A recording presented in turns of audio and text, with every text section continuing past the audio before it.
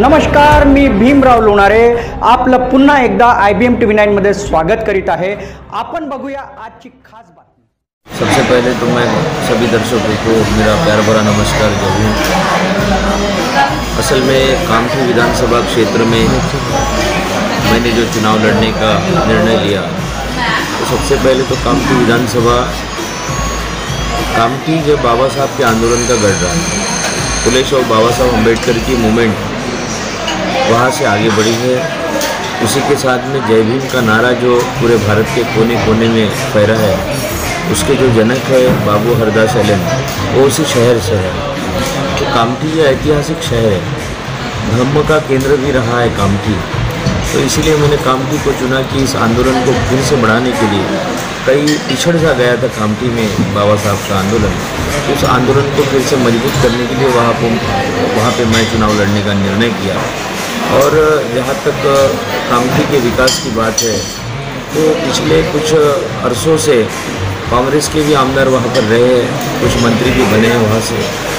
उसके अलावा भारतीय जनता पार्टी के भी अभी वर्तमान जो पालक मंत्री और भारतीय जनता पार्टी के एमएलए हैं।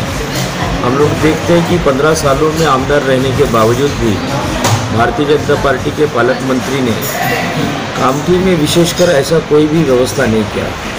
हमेशा ही विकास को लेकर पक्षपात के, पक्षपात उन्होंने कामठी के साथ किया ऐसा मुझे लगता है। जैसा कुछ कुछ, हालाँकि कुछ डेवलपमेंट कोराडी और कुछ आजू बाजू में उन्होंने अपने क्षेत्र के घर के आस के पास किया है, लेकिन कामठी क्षेत्र में ऐसा कोई ऐसा कोई प्रोजेक्ट ऐसा किसी प्रकार का उद्योग धंधा युवाओं के लिए रोज़गार, ऐसी कोई भी व्यवस्था विशेषकर कामठी शहर में नहीं की गई। उसके अलावा अगर हम लोग देखते हैं तो कांग्रेस भी हो, उसके पहले कांग्रेस भी वहाँ पर चुन कर आई है।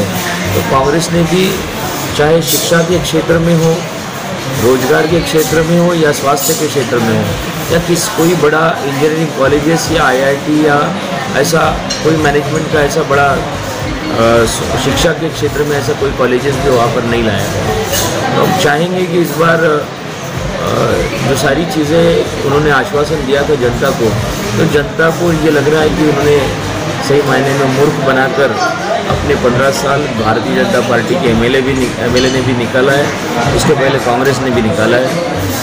और और कामठी का विकास अभी तक जिस प्रकार से सर्वांगीण होना चाहिए था, वो नहीं है।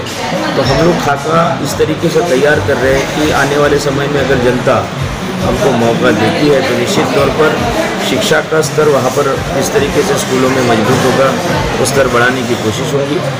और अच्छे इंजीनियरिंग कॉलेजेस, आईआईटी और भी कुछ मैनेजमेंट प्रकार की, जिससे युवाओं में रोज़गार पैदा हो सके। तो हम लोग अगर मौका हमको मिलता है विधानसभा में बात रखने का तो सरकार से लड़ झगड़ के क्यों ना हो, हम लोग उसको लाने का कामठी विधानसभा में प्रयास करेंगे। कामठी में जनता के बीच में जो भी लोग चुन के गए इसके पहले पालक मंत्री जी भी अगर गए या कांग्रेस के भी लोग गए तो उन्होंने हमेशा ही चिकनी चोपड़ी बातें कर, करके झूठे आश्वासन देकर अपने आप को आगे बढ़ाया है। लेकिन कामठी में अगर हाईवे छोड़ दिया जाए तो उसके अलावा कोई भी डेवलपमेंट वहाँ पर नहीं हुआ तो इसी के लिए वहाँ जनता भी ठगा हुआ महसूस कर रही है। और इसीलिए इस बार सोच रही है कि कांग्रेस और बीजेपी को छोड़कर हम तीसरा पर्याय यहाँ वहाँ तैयार करेंगे। मुझे लगता है कि जनता का जिस प्रकार से साथ मिल रहा है तो निश्चित तौर पर हम इस बार बहुत बड़ी ताकत बनकर उभरेंगे और कांग्रेस और बीजेपी को बराबरी की टक्कर देते हुए हम इस चुनाव को जीतने का बिल्कुल बिल्कुल प्रयास करेंगे। मैं कामठी की जनता से यही निवेदन करना चाहूँगा कि आप लोगों ने अभी तक कांग्रेस पर भरोसा किया। लेकिन जिस कांग्रेस पर भरोसा करते हुए आप लोगों ने उनकी सत्ता अभी तक लाई तो कांग्रेस ने पीछे कामठी क्षेत्र में किसी भी प्रकार का विकास नहीं किया। कामठी क्षेत्र के जनता को स्वास्थ्य की सुविधाएँ लेने के लिए 20 किलोमीटर दूर आकर नागपुर में मेडिकल और मेयो में इलाज कराने के लिए आना पड़ता है। चाहे किसी प्रकार की एमआईडीसी हो तो मौदा में वहाँ से कामठी से लेकर मौदा तक बीस पच्चीस किलोमीटर भी जाना पड़ता है। तो किसी प्रकार का ऐसी सुविधाएँ, बुनियादी सुविधाएँ जो होना चाहिए तो वो कामठी में नहीं है। अगर कामठी में वो सुविधा उपलब्ध होती है तो मौदा की भी जनता वहाँ, सेंटर होने के कारण मौदा की भी जनता वहाँ आ सकती है, महादुला कोराडी की भी जनता वहाँ आ सकती है। और एक अच्छा विकास अगर कामठी में अगर करते हैं तो पूरी विधानसभा को इस तर, अच्छे तरीके से वह विकास की धारा वहाँ बह सकती है। इसलिए मैं चाहूँगा कामठी को आने वाले समय में हम लोग अगर हम लोगों को मौका मिलता है तो पश्चिम नागपुर के तर्ज पर जिस प्रकार से पश्चिम नागपुर में विकास हुआ है तो पश्चिम नागपुर की तर्ज पर हम भी कामठी में विकास करने की पूरी कोशिश करें कार्यरत असलेल्या एका तर प्रेक्षकांनो ही होती आजची खास बातमी. भेटूया पुढे एक विशेष बातमी सोबत तर I B M T V नाईनला subscribe करा लाईक करा.